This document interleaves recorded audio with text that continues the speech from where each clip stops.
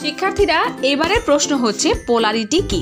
দেখো, যেসব সমযোজী যৌগের অণুতে ধনাত্মক ও ঋণাত্মক চার্জযুক্ত প্রান্তের সৃষ্টি হয়, তাদেরকেই বলা হয় পোলার যৌগ। আর এই বৈশিষ্ট্যকেই বলা হয় পোলারিটি। তাহলে তুমি বুঝতে পারছ, পোলারিটি আমরা শুধুমাত্র সমযোজী যৌগের অণুতেই দেখতে পাবো। উদাহরণ হিসাবে এখানে দেখো, পানি, অ্যামোনিয়া, চিনি, গ্লুকোজ, অ্যালকোহল, এই সকল পোলার যৌগের উদাহরণ দেওয়া আছে।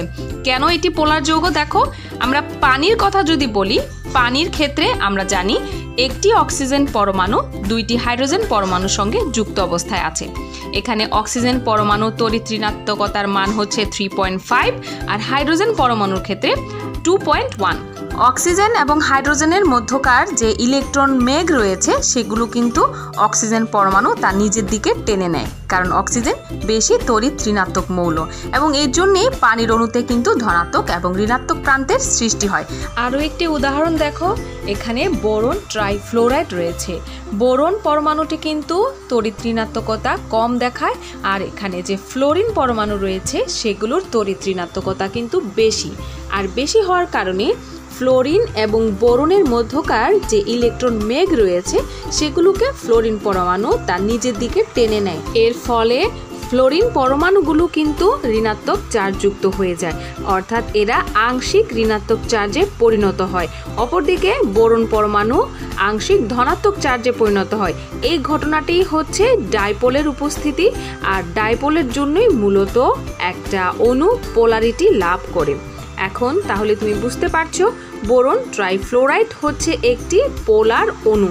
তাহলে প্রশ্ন আসতে পারে, carbon dioxide hydrogen peroxide hydrogen cyanide, ammonia, methane, এই বিভিন্ন সমযোজী যৌগের মধ্যে কোনটি পোলার, কোনটি অপোলার যৌগ?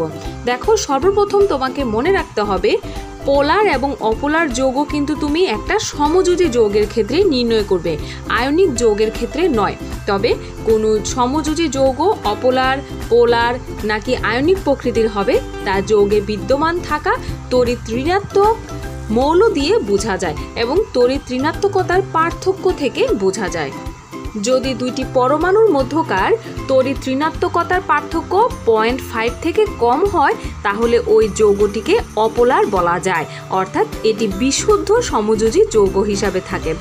আর যদি সেটা পয়েন্ট ফাইভ থেকে বেশি এবং ওয়ান পয়েন্ট সেভেনের মধ্যে হয়, তাহলে বোঝা যায় সেই যৌগটি কিছুটা পোলার এবং কিছুটা আয়নিক বৈশিষ্ট্যের অধিকারী হয়। তবে এই পার্থক্য যদি ওয়ান পয়েন্ট সেভেনের বেশি হয়, তাহলে বুঝতে হবে সেই সমযোজী যৌগটিতে আয়নিক বৈশিষ্ট্য বেশি রয়েছে। দেখো, আমরা যেটি বলছিলাম carbon dioxide hydrogen peroxide hydrogen cyanide আর মিথেন গ্যাসের কথা। এক্ষেত্রে কার্বন ডাই অক্সাইডে রয়েছে কার্বন এবং অক্সিজেন পরমাণু। এদের মধ্যকার যে তড়িৎ ঋণাত্মকতার মান, সেই মান থেকে পার্থক্য দেখা যায় মাত্র ওয়ান অর্থাৎ এটি কিন্তু কিছুটা পোলার এবং এখানে কিন্তু সমযোজী বৈশিষ্ট্যের সাথে সাথে কিছুটা আয়নিক বৈশিষ্ট্য বিদ্যমান। অর্থাৎ এটি পোলারিত হতে পারে। অপরদিকে হাইড্রোজেন পার অক্সাইডের ক্ষেত্রে পার্থক্য হয়ে যায় ওয়ান পয়েন্ট ফোর। অর্থাৎ এটিতে সমযোজী বৈশিষ্ট্যের চেয়ে আয়নিক বৈশিষ্ট্য বেশি হয়ে যায়।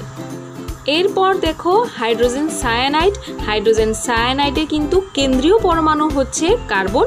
আর বাকি দুটি পরমাণু, হাইড্রোজেন এবং নাইট্রোজেন, কার্বনের সাথে যুক্ত অবস্থায় থাকে।